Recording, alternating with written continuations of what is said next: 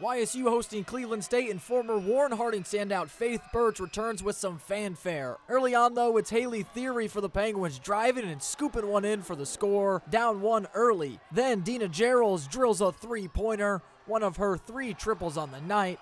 Then a little later on, it's Malia Magestro from almost the same spot. She drills it. YSU led the 25 win Vikings headed into the fourth quarter, but Cleveland State used a run to down the Penguins 56 to 53 late.